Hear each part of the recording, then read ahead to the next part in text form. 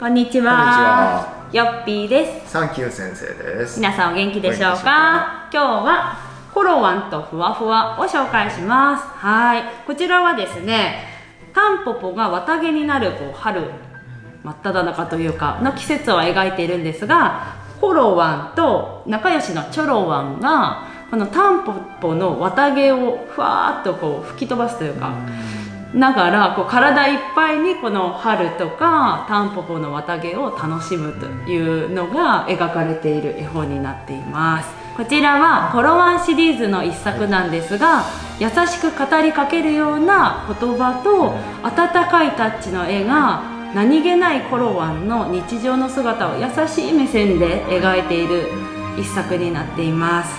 はい。ということで中を紹介していきます。横が25センチ縦も25センチ正方形の絵本になっています。はい。見ただけでこう春を楽しんでいる様子がわかりますね。はい。すごく優しい目線で描いているので紹介していきます。はい。コロワンとふわふわ。名前がなんか優しいですよね。はい。優しいなと思います。はい。コロワンはねまだ生まれたばかりの子供の犬なんですね。でお母さんと一緒に暮らしてるんですが家の前にタンポポの花がこう綿毛になっているのがこう見えたんですね。でこれは何だろうと思ってこう近寄っていくと前足でツンツンとしたらふわふわふわっと綿毛が散っていってそれにまずびっくりして喜ぶんですね。あなんて面白いなーって楽しいって言ってこのお家からこうお散歩に出かけるんですね。はい、でいろんなところに行くとタンポポの綿毛があるのでこうさっきみたいにこうツンツンとして綿毛がふわふわっていくのを楽しんでいると友達のチョロワンがやってきて何をしているのって聞くんですね。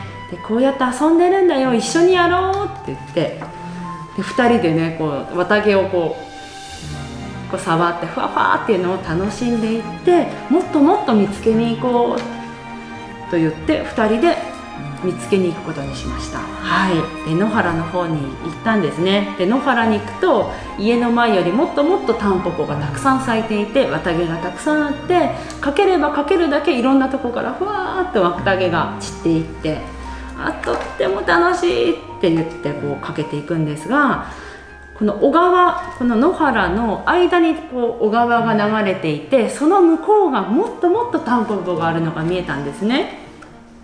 なのでこの小川を小川をジャンプしてあっちに行って綿毛をもっともっと散らばせようっていうかあっちに行こうよって言って最初チョロワンが「えい!」とこうジャンプできたんですねチョロワンはチョロワンもあチョロワンが先に行ってジャンプが成功してコロワンも行くぞと思って12のジャンプってしようと思うんですけどちょっと足がすくんで「あ行けなかった」ってキャーンって言うんですけどそうするとちょっとこう小川のお水がまだ春なので冷たくってさらにこうジャンプするには勇気が。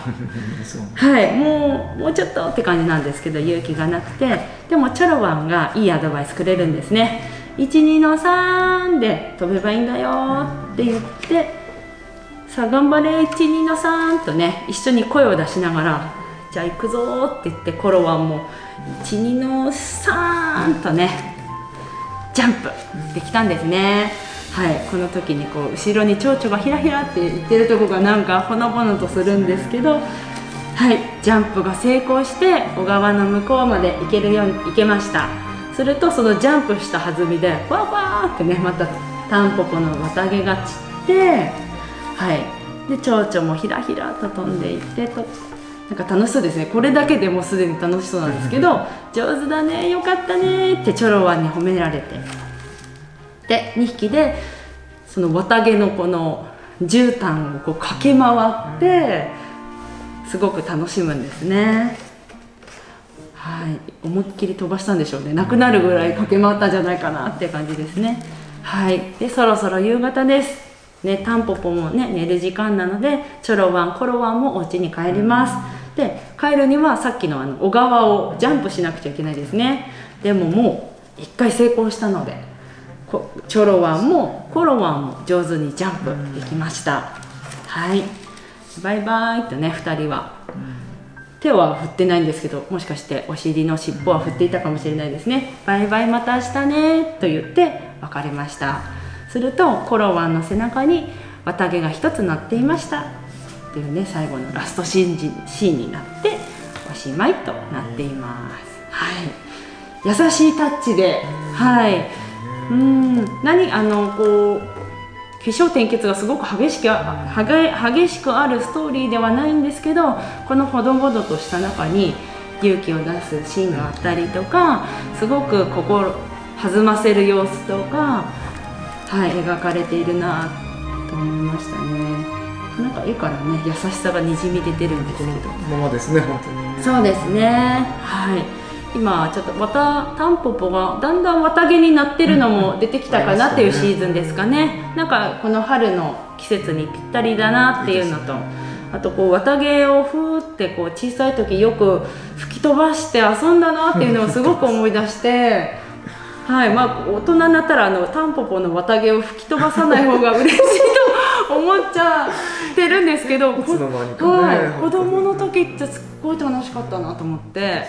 はい。それがすごくこの本で思い出して、はい、小さい子だったらさなおさら多分飛ばすのすごく楽しむだろうなとかって思って。いつから変わっちゃったんでしょうかねなんですかね、まあ、小学校とか行くとなんかその綿毛が耳に入ったら危ないとかって言われてふわしたダメよってちょっと 言われたような気がするんですけどとかまあ雑草を抜かなくちゃいけないとかそういうこともあって自然と大人になったら綿毛あれでしたけど無邪気に封することなくなっちゃいました、ね、なくなっちゃいました。なんかすっごいすあの純粋に楽しんでる様子がなんかいいなと思って。はい。野原でぜひねあのさせてあげたいななんて思いましたね。はい。ということでなんか春の暖かさを感じる絵本でしたね。はい。今日はコロワンとふわふわを紹介しました。最後まで見ていただいてありがとうございます。またお会いしましょう。さよなら